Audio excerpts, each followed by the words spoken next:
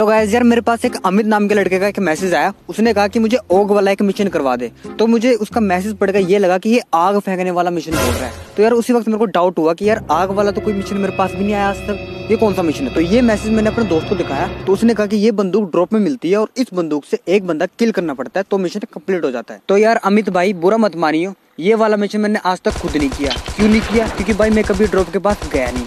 और कभी गया भी हूँ ना तो सिर्फ़ गया हूँ, वापस नहीं आया। और उसी वापस ना आने के चक्कर में मैं कभी ड्रॉप के पास गया और बाई चांस मेरे को कभी ड्रॉप मिल भी जाए ना तो वहाँ पे ना मेरे को सिर्फ़ फ़र्स्ट लेवल का हेलमेट और जैकेट डैमेज हुई मिलती है। और जो बंदे ये सोचते हैं ना कि भाई ये प्रो है ड्रामे करता है तो भाई एक बात कहूँ, भाई मैंने ना आज तक ना खुद की फ्लेयर गन चला के ना खुद का ड्रॉप नहीं देखा है। क्योंकि भाई फ्लेयर गन चलाने के बाद ना मैं लॉबी में होता हूँ गेम में और एक बार ना मैंने डिसाइड कर लिया कि भाई अपना ड्रॉप देख कर ही जाऊँगा।